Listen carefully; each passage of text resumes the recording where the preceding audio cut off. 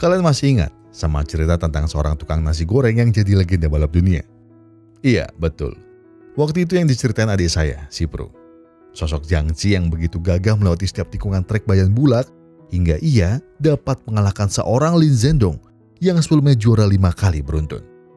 Tak hanya itu, rekor terbaik selama pagelaran rally bayan bulak juga berhasil Jiang Ji pecahkan. Pada akhir film pertamanya, ia memang berhasil menang, tapi ia juga harus berakhir dengan cukup menyedihkan. Ji harus terlempar jauh dari trek, bahkan dia dan mobilnya terbang di atas laut lepas dengan kecepatan tinggi. Tapi, apakah itu menyebabkan dia mati dan karirnya usai? Tentu saja tidak semudah itu, legenda kok matinya sepele. Karena sekarang, he is back, the one and only Raja Rally Bayan Bulat, our Lord Zhang Ji.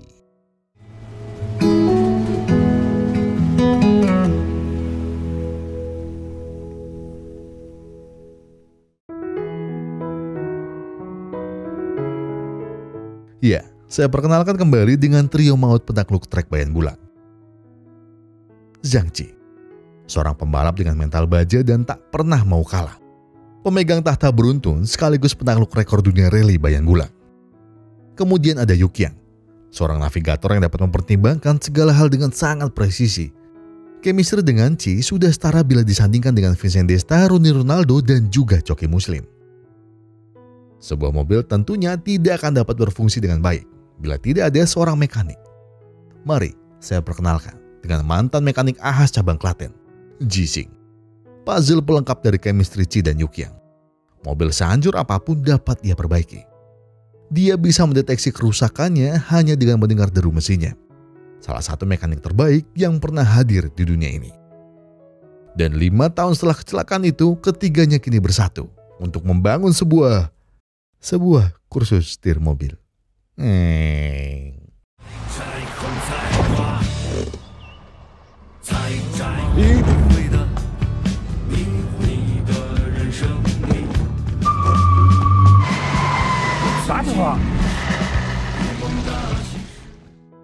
Bagi seorang pembalap seperti Ci, ternyata membuka kursus setir tidak semudah berdagang nasi goreng.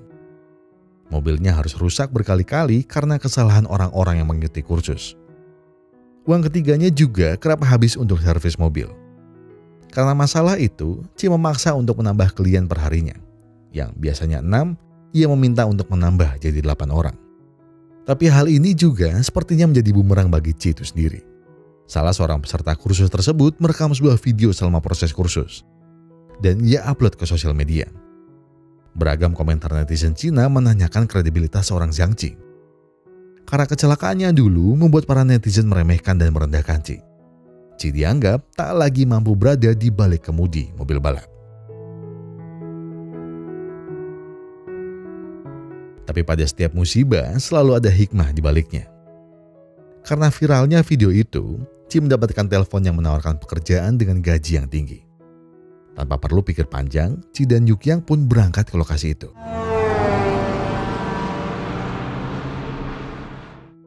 Kecelakaannya yang dulu ternyata masih berimbas cukup besar bagi Ci. Tangannya tak sekuat dulu. Bahkan hanya untuk membuka botol, otot-ototnya tak lagi dapat berfungsi dengan baik. Ci juga berkata pada Yukiang, bila tawaran kerja hari ini bisa mencapai kata deal, maka ia akan gunakan uang itu untuk ke dokter lagi. Karena asuransi federasi balap tak dapat menanggungnya. Federasi menganggap kecelakaan itu sudah di luar balapan, karena terjadi tepat setelah melewati finish. Setelah banyak mengobrol, mereka pun sampai di lokasi. Di sana ia disambut oleh Cindy, atau kita sebut saja biar gampang Pak Di. Pak Di ini adalah seorang bos dari pabrikan mobil listrik. Mobil-mobilnya menggunakan model yang mirip dengan pabrikan Eropa, seperti Mercy, Ferrari, Lambo, dan juga Porsche. Tapi ada satu mobil yang membuat si tertegun. Mobil yang Pak disebut dengan nama Aoyun.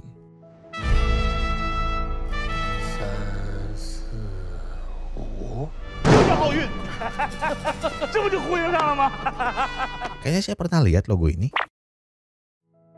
Pak Di kemudian banyak mengobrol tentang pabriknya. Lalu masuklah mereka ke sebuah ruangan. Ruangan tersebut lantainya menggunakan sebuah pasir. Tapi pasir ini bukanlah sembarang pasir. Pasir ini berasal dari Gunung Bayan. Trek gunung yang dilewati oleh reli Bayan Bulat.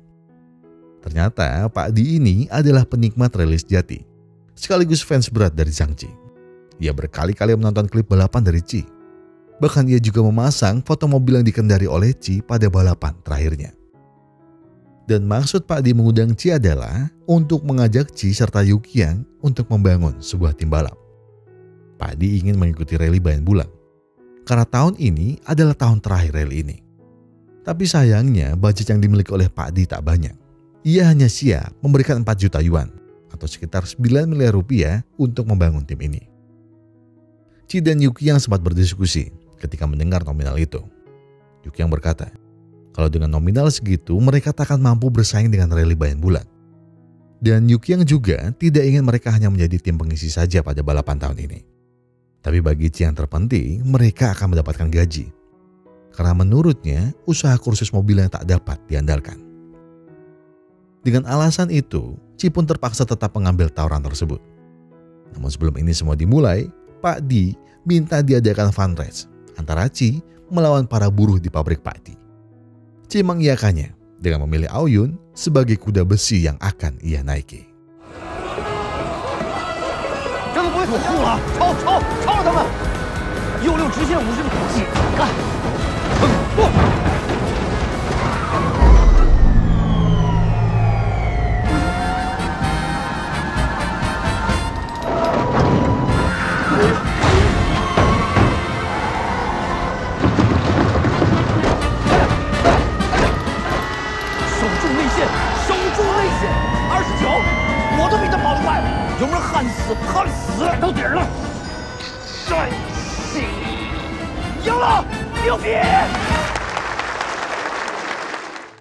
Zhang Ji belum kehilangan sentuhan magisnya.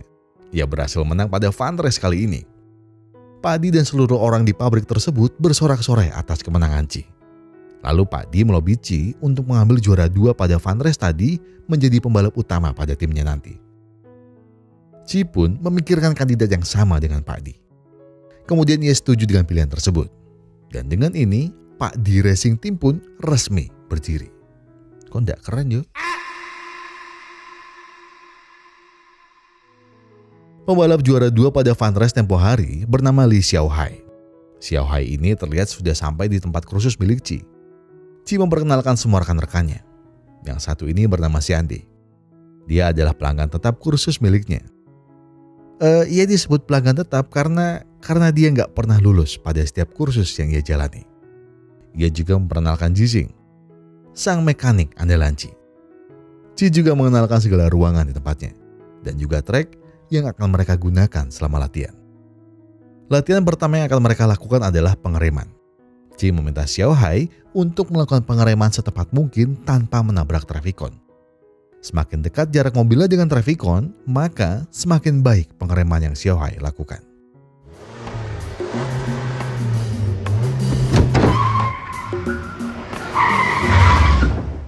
Xiaohai melakukannya dengan sangat sempurna. Walau dia adalah seorang amatir dalam dunia balap, ia berhasil mengerem mobilnya hingga jarak mobilnya dengan Traficon hanya tersisa beberapa senti saja. Melihat kesangaran dari Xiaohai, Chi dan juga Yukiang pun ingin mencoba hal yang sama mereka berdua ingin menunjukkan kalau mereka bisa lebih baik dari Xiaohai.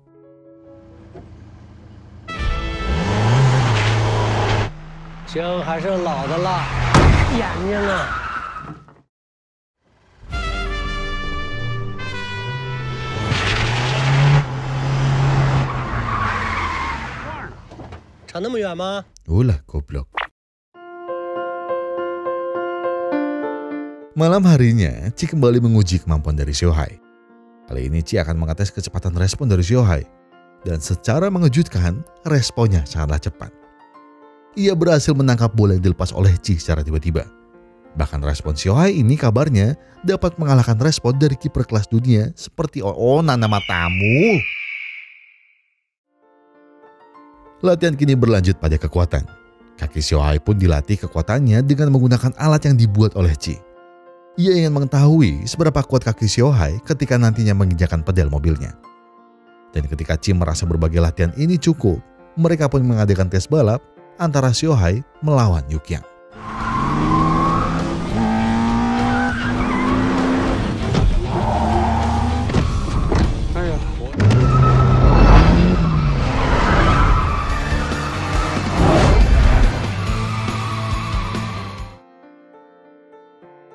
Hai juga diuji untuk menghadapi tikungan-tikungan tajam. Dan khusus tes ini, Hai akan didampingi oleh Chi sebagai mentornya. Lalu Hai melakukan uji balap dengan Xiande sebagai navigatornya.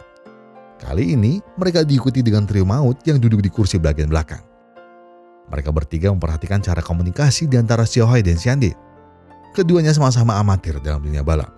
Jadi bimbingan dari trio maut ini sangatlah dibutuhkan bagi Hai maupun Xiande. Pada suatu sore, Ci dan Yuki yang berbincang santai di rooftop tempat kursusnya. Di sana Ci bercerita tentang keinginannya kembali menjadi seorang pembalap. Tapi Yuki yang tentu mengkhawatirkan kondisi temannya itu. Ia harus memastikan Ci dalam kondisi prima jika memang ingin kembali balapan. Ci hanya menjawab kalau ini hanyalah suara dari hati kecilnya. Ia belum tahu apa dia akan benar-benar mewujudkannya atau tidak karena ia tahu kondisinya juga tidak seprima beberapa tahun yang lalu. Dua hari kemudian, Pak Di datang dan melihat progres dari tim balapnya. Selain itu, Pak Di juga ingin mengatakan sesuatu kepada Ci. Ci pun juga merasakan hal yang sama. Dia juga ingin menyampaikan beberapa kendalanya dalam proses bangun tim balapnya itu. Baru saja Pak Adi mengutarakan maksud hatinya, ia malah disuruh mencoba kemampuan drift dari Xiaohai. Dan ketika hanya tersisa Ci dan Yukiang, Ci pun berkata, kalau Xiaohai ini adalah anak dari Pak Di. Ia dapat menebak hal itu karena ketika Xiaohai dipanggil untuk menjadi pembalap timnya, para pekerja dan petinggi lainnya pun melihat dan menyambut Xiaohai dengan sambutan yang hangat. Dan benar, Xiaohai dan Pak Di berbincang di mobil sebagai seorang ayah dan anak. Mereka membicarakan cukup banyak hal terkait tim balap ini. Setelah kembali dari percobaan drift tersebut, Pak Di berkata, ia akan mentransfer uang untuk lanjutan tim balap ini. Kemudian Pak Di pun pamit pergi kembali ke pabrik. Namun,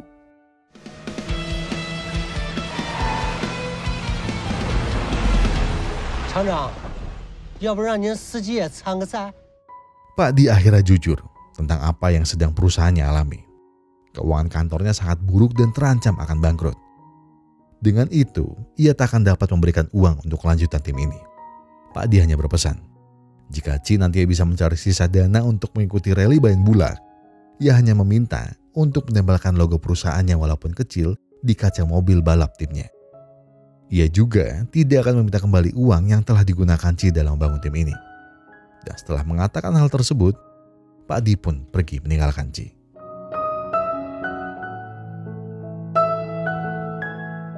Kehilangan setengah modal tentu membuat finansial tim ini tak baik-baik saja berbagai perhitungan budget juga telah dilakukan.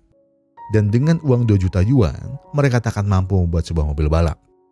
Sementara di sisi lain, baik Chi maupun Yukiang tak ingin bakat alami dari Xiaohai sia-sia begitu saja. Mereka tetap mengusahakan agar Xiaohai dapat mengikuti rally Bayan Bulang, walaupun bukan dengan timnya saat ini. Keputusan untuk mentransfer Xiaohai pun akhirnya diambil. Saat ini Chi bertemu dengan manajernya manajer pertamanya ketika memasuki dunia balap. Manajer J saat ini menjadi bos dari tim balap yang bernama Lifetime. Tim balap ini adalah juara tiga kali beruntun pada rally Bayan Bulak. Setelah banyak melakukan negosiasi, akhirnya manajer J menawarkan angka 1 juta yuan kepada Ji untuk seorang Xiaohai. Walaupun sebenarnya angka itu cukup rendah bagi talenta seperti Xiaohai, tapi karena kondisinya mereka sedang BU dan membutuhkan dana cepat, Ji pun terpaksa mengiyakan tawaran tersebut.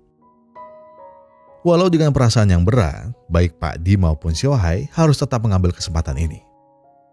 Bagaimanapun juga, rally Bayan Bulak juga menjadi impian bagi Xiaohai.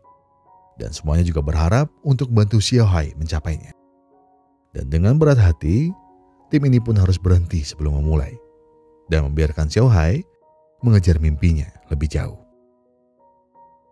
Xiaohai kini telah memulai latihan di Lifetime. Dia telah siap menggunakan wearpacknya ia sudah siap berlatih untuk mencapai mimpinya. Namun ketika ia akan masuk ke mobilnya, ia diminta tolong oleh seorang mekanik untuk mengambilkan stiker yang akan ditempel di mobil balapannya.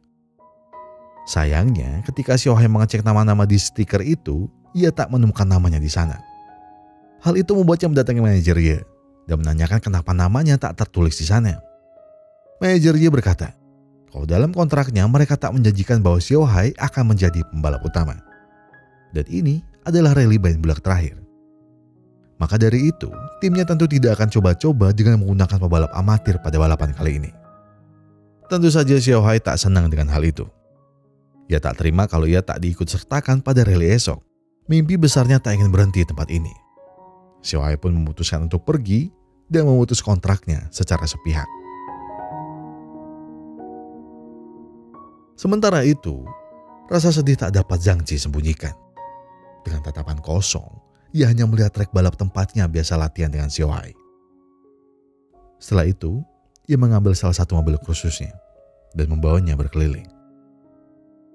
Ia terus berperang dalam batinnya. Aku tak selemah ini dulu. Aku tak sepecundang ini dulu. Aku tidak sepengecut ini dulu. Tapi kenapa? Kenapa aku sekarang jadi penakut? Aku tak mau lagi menjadi seorang tukang nasi goreng. Aku tak mau lagi mengajari orang cara untuk menyetir. Aku sendiri juga tak mau disetir oleh ketakutanku. Ketakutannya akan terus menjadi penghalang. Penghalang dari versi terbaikku.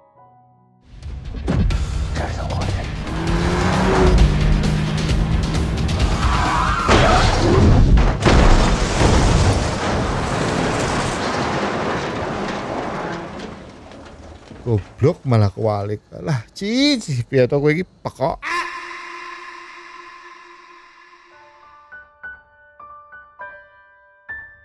Baru saja ia mencoba untuk keluar dari mobil, ternyata datanglah Xiao Hai yang membantunya. Setelah itu Xiao Hai bercerita kalau ia telah keluar dari lifetime. Dan ketika ia sampai di tempat kursusnya, ia mendengar suara berisik yang ternyata berasal dari mobil Ci. Keduanya banyak bercerita tentang mimpi Xiao Hai yang besar dan juga keinginan Ci untuk kembali menaklukkan trek Bayan Bulak. Yang pada akhirnya, keduanya kembali bersatu untuk bergabung pada rally terakhir Bayan Bulak.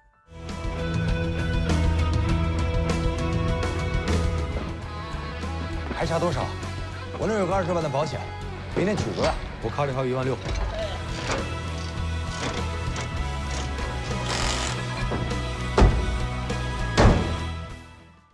Namun, sebelum mengikuti balapan, Federasi Balap mewajibkan mobil-mobil tersebut untuk melakukan uji daya tahan mobil. Dengan cara menabrakkan mobil peserta satu dengan peserta lainnya.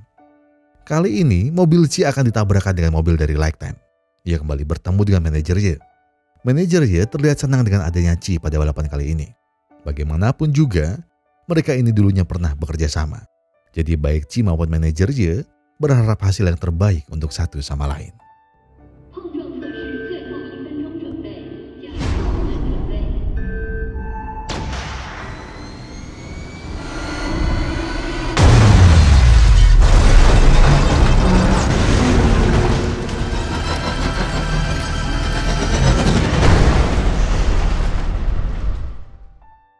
Para teknisi dari federasi pun mengecek mobil dari keduanya.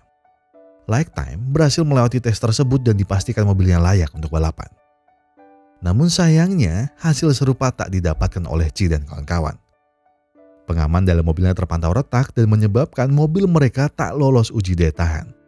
Yang berarti kesempatan mereka untuk mengikuti balapan kali ini juga akan pupus begitu saja. Kesedihan tergambar jelas pada semua kru. Mulai dari Jising yang menyalahkan dirinya sendiri karena gagal membuat mobil yang kuat. Begitu juga dengan Yuki yang janji, yang merasa mimpi depan matanya harus hilang seketika karena gagal pada tes ini. Mobil mereka pun diangkut ke tempat kursusnya. Mereka semua terlihat terpukul dengan kejadian ini. Tapi sepertinya Xiao Hai masih bisa sedikit berpikir jernih. Ia mengecek kondisi mobilnya dan menemukan sebuah komponen asing yang seharusnya tak ada pada mobilnya. Jising berkata, kalau komponen ini komponen yang dilarang oleh federasi. Semuanya pun kini merasa ada yang aneh. Zhang Zi pun mencoba menuntut federasi tentang hal itu. Ketua federasi melakukan investigasi dengan mengecek mobil yang digunakan Lifetime. Tim dari federasi pun akhirnya melakukan pengecekan pada part-part mobil milik Lifetime. Kecurigaan dari Xiao Hai ternyata benar. Mobil milik Lifetime memang dipasangi ekstra proteksi yang sebenarnya hal itu adalah larangan dari federasi. Dan dengan hasil ini, maka tes uji daya tahan mobil tersebut akan diulang dalam beberapa hari lagi. Dengan persiapan yang mepet tentunya tidak akan cukup bagi Jising merakit kembali mobil rongsokannya itu. Maka dengan itu, Pak Edi datang dan meminta mekanik-mekanik dari pabriknya untuk bantu perbaikan agar dapat segera diselesaikan.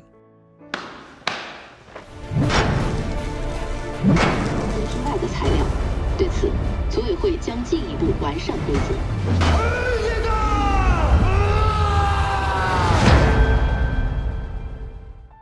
Tes uji daya tahan mobil kedua pun dimulai. Dan tes tersebut berhasil dilewati dengan mulus. Dengan hasil itu, mereka berhak untuk mengikuti rally Bayan Bulak dengan menggunakan Xiaohai sebagai pembalapnya dan juga Xiande sebagai navigatornya. Rally Bayan Bulak ini adalah rally paling favorit di dunia. dengan panjang trek 109 km, 1462 tikungan dan melewati Gunung Bayan dengan ketinggian 4000 meter. Tentu akan menjadi sajian yang menarik bagi para penikmat mobil balap. Setiap pesertanya akan berangkat tiap 5 menit. Dan yang mendapatkan durasi tercepat maka akan memenangkan balapan ini. Untuk seri ini, poin akan dihitung secara tim. Dan setiap tim akan mengirimkan dua mobil. Sementara itu, tim milik manajernya yaitu Lifetime adalah juara beruntun selama tiga tahun. Karena tahun ini adalah tahun terakhir dari rally Bayan Bulak, mereka ingin menutupnya dengan manis dengan menjadi juara. Perjalanan Xiaohai terlihat cukup mulus, mobilnya dapat melaju kencang pada trek kali ini. Ia juga saat ini berada di posisi kelima hanya dengan dua detik di belakang posisi pertama. Xiaohai mencoba mengeber mobilnya lebih kencang untuk mengejar ketertinggalannya. Hingga ia berhasil satu setengah detik lebih cepat dibanding mobil pembalap dari Lifetime. Hal itu tentu membuat pembalap Lifetime tak senang ia tak ingin kalah dari siapa pun. Ia pun izin pada manajernya untuk meningkatkan performa mesinnya hingga batas maksimum. Walau sempat dilarang, tapi pembalap satu ini tetaplah ngeyel dan membuat mobilnya lepas kendali.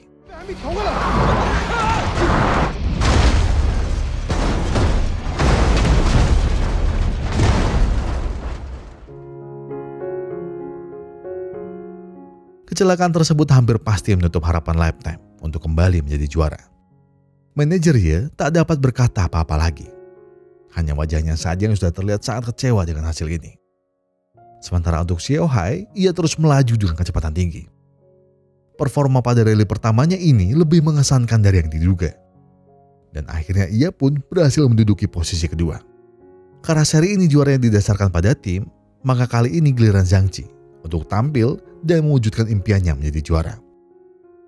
Qi dan Yuki yang hanya membutuhkan finish di posisi ke-6 untuk dapat meraih podium satu pada rally kali ini. Bagi Zhang Qi, juara hanya ada satu, dan sisanya akan terlupakan begitu saja.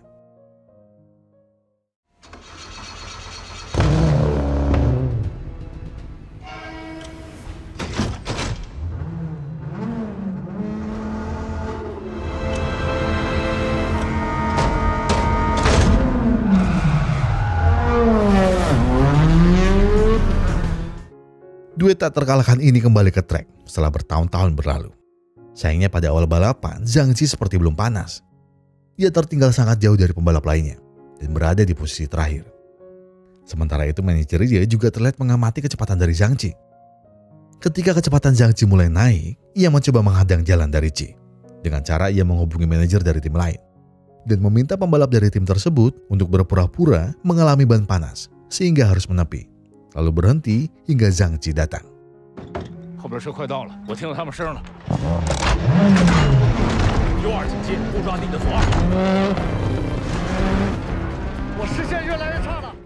Ternyata mobil biru itu sengaja berhenti untuk menghambat kecepatan dari mobil Ji. Ia memaksa Qi untuk mengurangi kecepatannya karena pandangannya yang tertutup oleh asap dari mobil biru itu.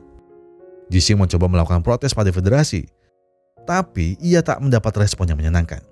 Sehingga Jiang Qi dan juga Yukiang terpaksa melanjutkan balapan dengan kondisi terhalangi pandangannya.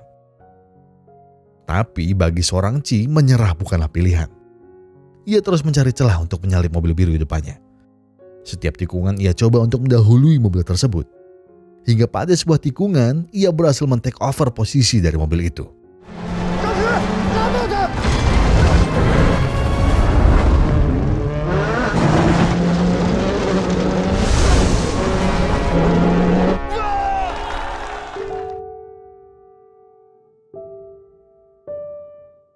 Baru saja Sangci lepas dari gangguan mobil depannya, ia harus menghadapi cobaan lainnya.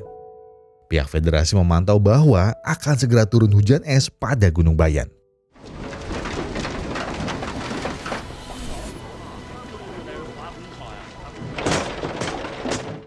Dan benar, hujan es mulai turun di Gunung Bayan. Hal ini tentu mengganggu pandangan dari Zhang Ji. Baik Ji maupun Yukiang, keduanya harus menutup jendela mobilnya karena hujan es makin kencang dari waktu ke waktu. Keadaan itu semakin diperparah ketika mobil Zhang Ji harus mengajar batu yang cukup besar dan membuat pendingin dan juga radiatornya kini dalam kondisi terbuka tanpa penghalang apa pun. Dan hal itu tentu akan berefek pada mesin yang dalam waktu dekat akan mengalami overheat. Tapi keadaan tersebut sama sekali tak membuat Ji gentar. Ia terus mengeber mobilnya hingga ke titik maksimum. Ia hanya ingin menjadi seorang juara. Hanya itu yang Zhang Ji inginkan. Akhirnya setelah beberapa lama, cuaca di Gunung Bayan kembali membaik. Matahari kembali menyinari trek dan membuat pandangan Zhang Ji kembali ke kondisi normal. Jika hujan es saja tak membuat Ji mengurangi kecepatannya, tentu saja ketika cuaca kembali normal, Zhang Ji akan memaksa mobilnya hingga menembus limitnya. Ia terus memaksa mobilnya agar setidaknya sampai ke posisi 6 dan juga mengalahkan rekornya sendiri. Tapi ketika ia semakin kencang bawa mobilnya, ia melihat sebuah bayangan di depannya.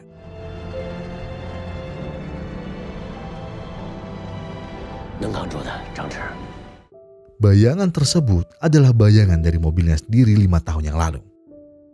Zhang Ji lima tahun yang lalu dan Zhang Ji yang sekarang seakan menyatu untuk mencapai satu tujuan yang sama, yaitu menjadi seorang juara. Ji yang sekarang ingin bawa Ji yang lima tahun lalu ke podium. Ia ingin membuat dirinya lima tahun yang lalu juga merasakan juara. Kecepatan Zhang Ji juga semakin meningkat mendekati finish. Mobil yang dikendari Zhang Ji semakin panas, tapi jiwanya juga tidak kalah panas. Karena Zhang Ji hanya ingin satu, yaitu juara.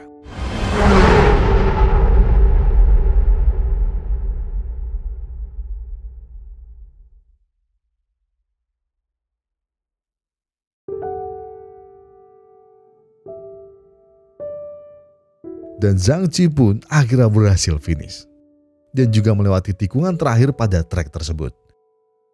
Ia juga berhasil melatih rekornya sendiri. Ia berhasil satu detik lebih cepat dibandingkan apa yang dilakukannya lima tahun yang lalu. Kemudian dari kaca mobilnya, terlihat Xiao Hai memberikan tanda bahwa mereka berhasil menjadi juaranya. Zhang Qi berhasil menduduki posisi ke-6. Dan dengan hasil tersebut, ia berhasil untuk bawanya menjadi seorang legenda dunia balap. Seorang raja bayan bulak, pembalap yang paling beringas, paling ditakuti dan juga memperpanjang rekornya menjadi pembalap yang tak pernah merasakan kekalahan sepanjang karirnya.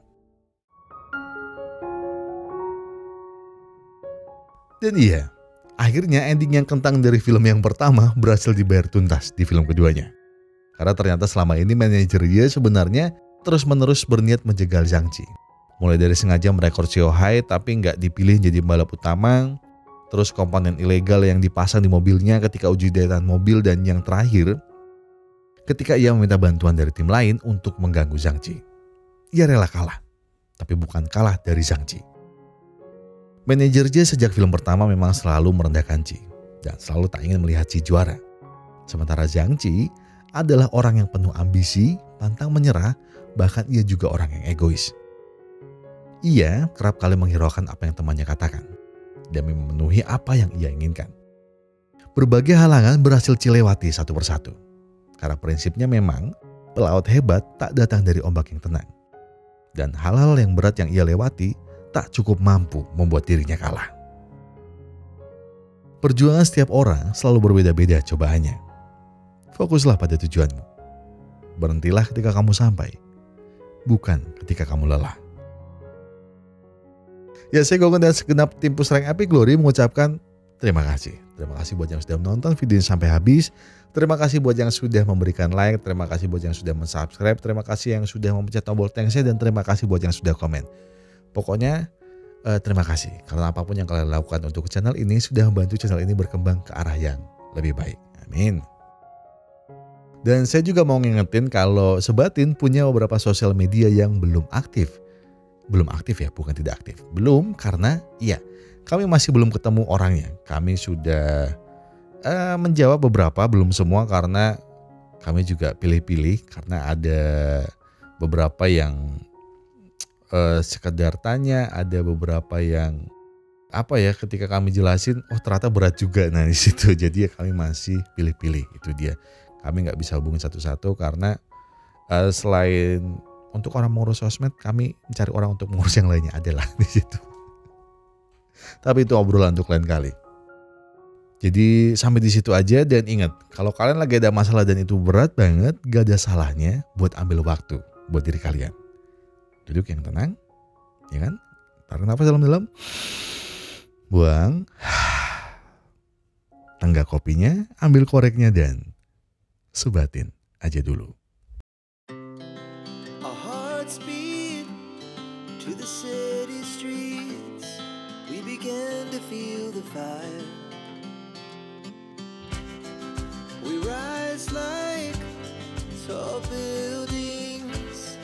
As the chemicals that take us higher. The night's young, it has just begun as she puts her hand in mine.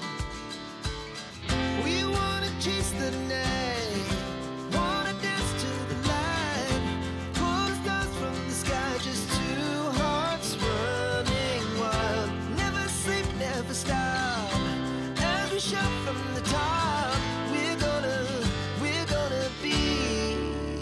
hearts running wild.